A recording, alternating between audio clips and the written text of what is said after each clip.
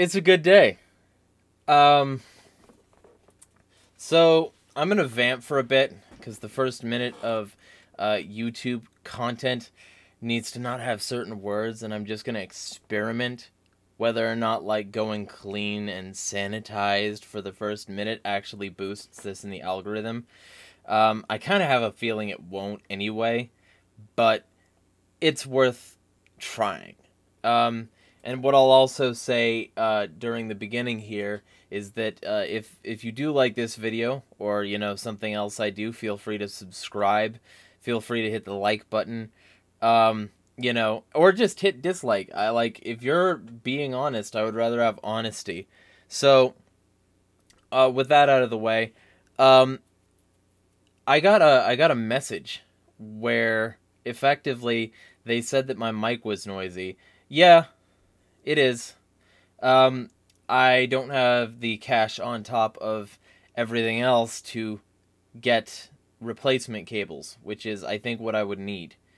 Um, so if you decide you want to support this content, feel free. Like ultimately what I need and, and and, like need are like YouTube subs, but also Patreon and or Ko-fi subs because those are going to be the best ways for me to establish an income and get my own place where I can do a variety of content that I haven't been able to do.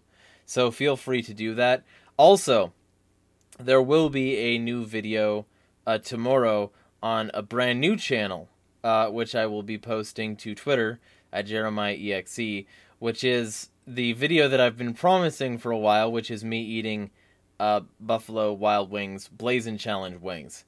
Um, so if you want to see me uh, I- endure pain, then feel free, because uh, I did in fact do the challenge, um, and I just haven't been arsed to get the thing together. So uh, that'll be there tomorrow. Um, and honestly, it should have been there a lot sooner. It's like somebody actually paid me to do that. It, they, they didn't get to see it yet. So that's that's my bad on that. Um, but ultimately, it'll be there tomorrow, and uh, yeah, it all that stuff aside, um, the Georgia Guidestones were blown up, or I, I think it was just like the part of it with the tenet about like reducing the human population down to 500 million in perpetual harmony with nature. So, like, that's very cool not not not the destruction or anything like that, but it's it's very cool. It's cool in this room. I would never advocate destruction of property. No. Um, but the general uh, thing that the gen- uh, the Georgia Guidestones were were hey, if we just offed a bunch of people, um, then we could we could give you your freedom.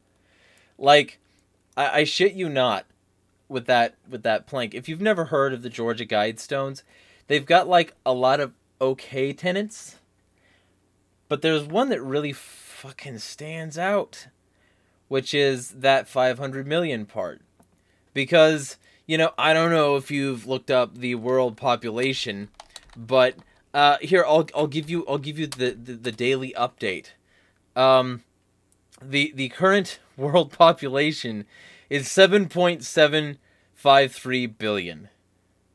That means whoever made that, if we did that now, would have to kill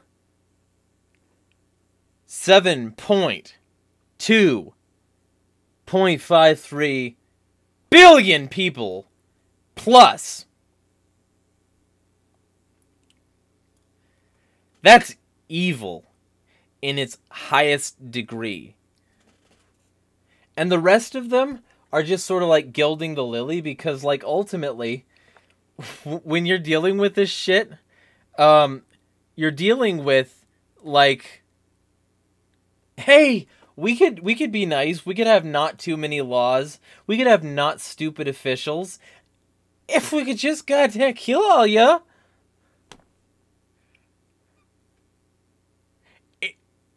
it's really fucking bad. And so it's one of the things that I've brought up repeatedly the Georgia Guidestones, Um, you know the the murals at the Denver International Airport. Um, you know the the fucking the pale horse. Basically everything about Denver International, like the fascist symbology in the the, uh, the Senate floor, fucking like or or below Lincoln's hands. It's fucking hilarious that that that people don't connect more dots with when it comes to fascism because the original thing of fascism was hey Rome was great let's do what Rome did. And and and like the US thought of it first. Like before Jean Gentile the US was over here putting Roman symbology and all the shit. So you got fascist symbols everywhere fasces and like other Roman symbols and shit like that. And uh and and you know it's sort of like the, it's a symbol of fascism and you just can't call it that. You know? Uh they they make excuses for it on the NPS site. Maybe someday I'll like read through like some of the justifications they use for this shit. But like yeah it ain't good all right so ultimately um right around the uh, the time when people are saying that we might need, and I'm not making this up, more COVID lockdowns and more jabs. Um, you know, right around that time, somebody got all irritated. Um, and, and, and like, took out a rock with genocide suggestions on it, eugenics suggestions on it and there are people legitimately upset about this. Like, I, you know, I wish I was making it up. Um, just as a sample, right? I'm not gonna go like a cavalcade of them. You know, maybe I'll make a worst of compilation of like all the things that people have been saying. But like, here's a good example. Um, let me make sure I've got this this this window set up properly. Um,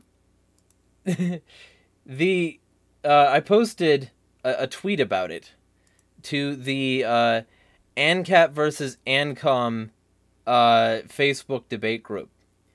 Uh, and and the tweet looks like this because this is what I, I posted. It's just a bunch of news about it, and then I said the Georgia Guidestones are a testament to evil.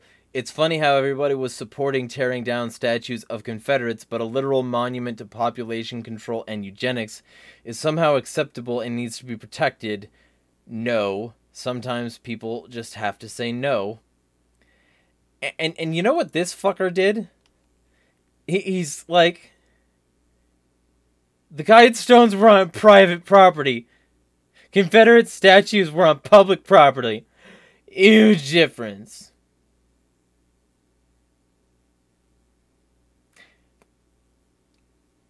Is it though? I mean, yeah, sure. This was just, you know, a, a humble a humble landscaper's property who was paid by this eugenicist to put the fucking shit there. You know? But he was paid to put the fucking shit there on private property. So that means that somebody advocating genocide who clearly doesn't reciprocate any sort of human rights or liberty or anything like that anyway. Yeah, he he he's he's he's a victim. No. No, no. Uh if somebody is advocating killing 7.253 billion people and a rock gets blown up that has his suggestion on it, I don't care. So that's my stance. I don't know how radical that is. Um, but ultimately, you know, it's not that radical. I'm I'm I'm saying the obvious.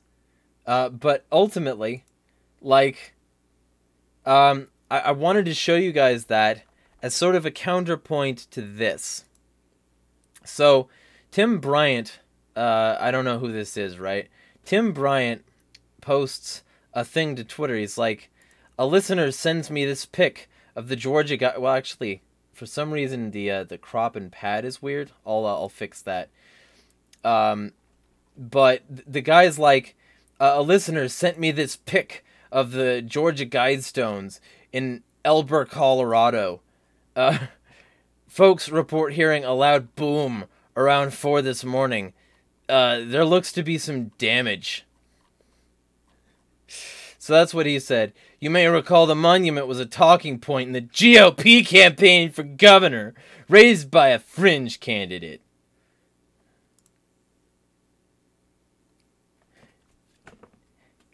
Really? Really?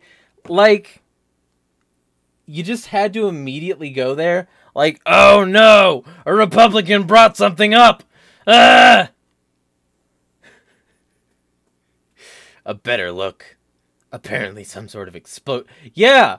If people report a loud fucking boom, maybe there was an explosion. It.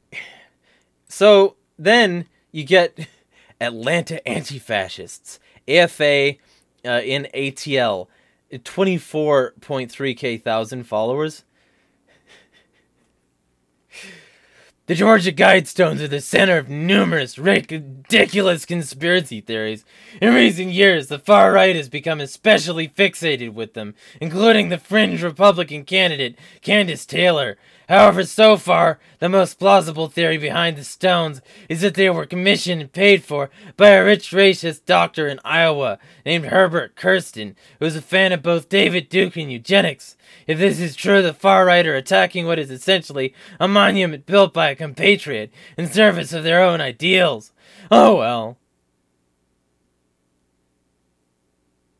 The destruction of the Georgia Guidestones will probably only seriously hurt two things the feelings of an eccentric racist doctor in Iowa, who's dead anyway, and the long term revenues of boiled peanut sellers along the road in Elbert County. And like, yeah, of course they're against it. Some or some somebody apparently fucking didn't believe. I don't care though. The conspiracists don't believe us. Okay, but try checking your narrative against reality and stop ignoring parts that don't fit. If you can't tell weird Freemason looking satanic monuments when you see them, I don't know what to tell you. It's such a brain destroying thing to say. Is it though? So, let's talk about that for a second. Are you an anti capitalist? Do you identify as an anti fascist? You should learn the word solidarity. Because this was an opportunity to reach out. And instead, so many, so many leftists are just being like, either completely dismissive of any problem with the Stones, and I mean leftists or liberals in this sense, but like either completely dismissive of the Stones or just like, oh, you can't have anything to say now because you're a Republican. You wouldn't want to be called a Republican, would you? It's like, I don't give a fuck. Uh, if if what I'm doing is reasonable and right, then maybe ask yourself why you're not willing to be more like a Republican if that's what they're doing. Because, okay, let's just say for a moment that you are a legitimate anti-fascist and or anti-capitalist and that the socialist symbology in your uh, fucking flags there is real. The Freemasons and like secret societies that uh, conspiracy theorists talk about. That's state capitalism! And state capitalism, with a prima facie and primary goal of eugenics, is fascism! So maybe instead of mocking people as conspiracy theorists, destroying their brains and not doing exactly what I want, you could like reach out in solidarity and it's not just them either. It's like a fuck ton of people are just like, it's a conspiracy theory. You can't say that about it. And, and you're being conspiracy theorist. Like, if you use the term conspiracy theorist in a negative context, literally do the world a favor and smash your device. Do not have it anymore. You're not using it. Because you could, you know, use your access to uh, a virtually unlimited informational superhighway to learn what the word theory means. And and what do I mean by that? Well, uh, I mean that a theory is scientifically tested, right? A theory isn't just something in the ether. That, at the very best, is a hypothesis. So I, I wrote over here a couple things. Um, I wrote this one, which is that uh, a theory is a tested hypothesis in the final stage of the scientific method. Gravity is a theory, and so is everything else in the theoretical space. Whenever anyone dismisses something as a conspiracy theory, it proves they do not understand what a theory is. Just saying. So, I wrote that one, and I also wrote uh, this one. Uh, that uh, something that still gets me angry. This isn't some conspiracy theory, it's fact. It's this arrogant, obsequious assumption that something can't be fact if it says people are conspiring. Like, nah, history is absolutely fraught with conspiracy. Not mutually exclusive, yo.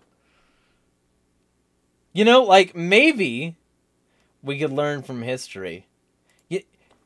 How about this? Just to reach out to the anti capitalists making this a Republican issue when it fucking isn't. How about this to reach out in solidarity?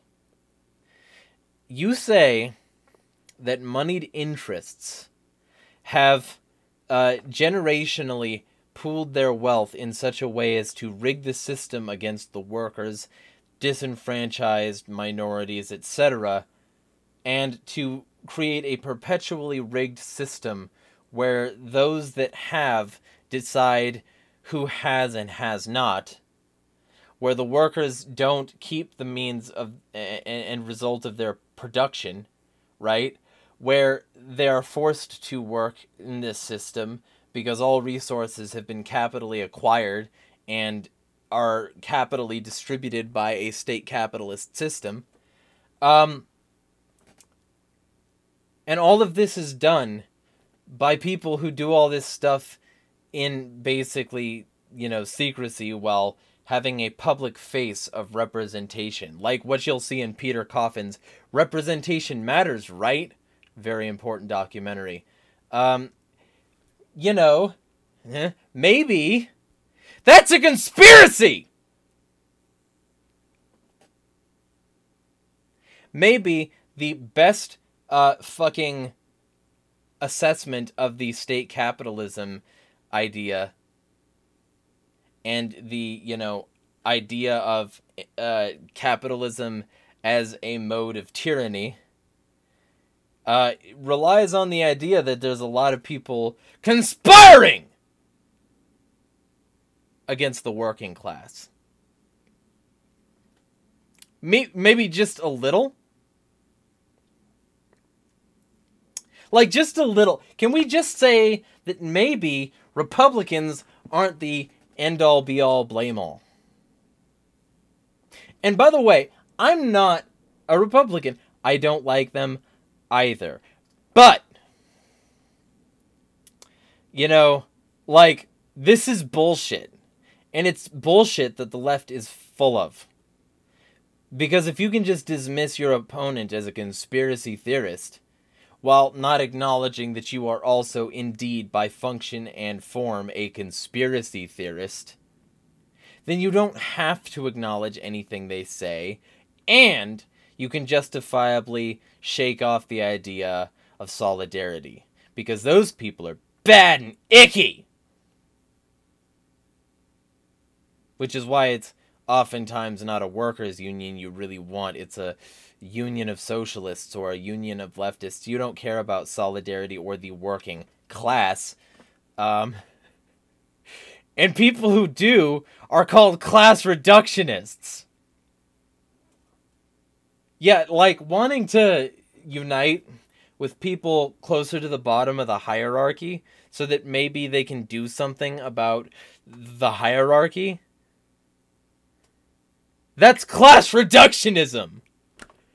Because you're not like intersectional enough, even though like the class includes everybody in the intersectional cross section.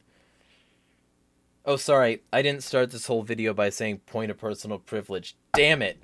I'm being white again. So, like, maybe you believe in a conspiracy theory. Maybe you should stop, like, brushing everybody else off as a class reductionist. Maybe the right can be right sometimes. And just so you don't think that I hate, hate, hate the left, um, and and love, love, love me some Republicans I'm defending so much. Um, let me be super clear. Follow me on TikTok at Insanity is Free. Yes, that's a plug. Fuck you. Um, I went over uh, a shit ton of things inconvenient to Republicans very recently. And one of those things was a video where, because somebody um, didn't like that I was saying Biden is basically just a Republican, they said Biden has a liberal world order and he's he's coming to take our guns. Republicans don't do that. oh man. It's like it's like when like so I I, I responded to an NRA tweet today uh with with the video explaining this. Um but the NRA is some of the worst in terms of gun uh, activism. They suck asshole. Um, and so they were being responded to by somebody else, the, the, the, the governor of place where Highland Park is, right? The governor of Illinois is just like. Um, you know, uh, this, this tweet here, um, since 1950, 94% of mass public shootings occurred in gun free zones. And that'd be fine if they weren't the reason those gun free zones are there. But, like, they, they are. Um, they have been directly responsible for a huge amount of gun control legislation, and a significant amount of that has been to reinforce racism. Oh no, the Black Panthers have guns! Quick, ban them! That's literally it for some of these people. Um, and that's, you know, that's what the video is. It's saying that. It's also demonstrating that, you know, Nixon, Reagan, um, you know, Donald Trump uh, all had views supporting gun confiscation and control. Um, you know, and also that Henry Kissinger and George H.W. Nazi fucking piece of shit Bush uh, were both uh, the basic main people who like supported and promoted the idea of a new world order. So like Republicans aren't good either. And yeah, you know, Republicans should definitely consider whether or not what they're doing is affiliated uh, in a positive way with uh, the the Georgia Guidestones or in a negative way. And what I mean by that is maybe you're supporting it a little bit more than you think when you support some of the policies you support. But don't lead with that and don't make it all about that. Like we could have a, a collective sort of like like you know group therapy session between us. And and you know really celebrate the downfall of a, of a piece of rock that represented fundamental evil. Is we doing that? No we's blaming republicans. It's like every mass shooting. Oh no he has trump posts let's blame every Trump supporter and ignore all the leftists who commit violence at all, and all the right wingers who, who, who we support because they support Biden, another right winger who we won't like to talk about being right wing because that makes us seem a little bit wrong, and maybe we're not perfect and shouldn't act like it, but golly gee, that would involve some self reflection. Oh, we can't do that! Yeah, you can, and you should. Right? Just like take a moment, take a breather, in through the nose, out through the mouth, and then close your mouth. Like, mm. see how easy that was? And you didn't have to make something about the political opponent. You know, when it wasn't when it was really about a fundamentally sick society where this sort of statue is like emblematic of it. There, there's an experiment called Rat Park where if you improve the cage, the rats will stop being addicts. They like gave them cocaine and normal water, and the rats would go to the cocaine in the shit ass cage, and they would go to the water in the better cage.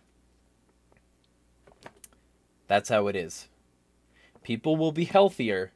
People will do less shit like that, like acts of violence, if society wasn't a fundamentally cruel and evil place to be. And if monuments like this didn't stand as testaments to how evil things are. That's my rant. Um, if you like that, like, share, and subscribe. I've been Jeremiah Hardin smash the fucking state.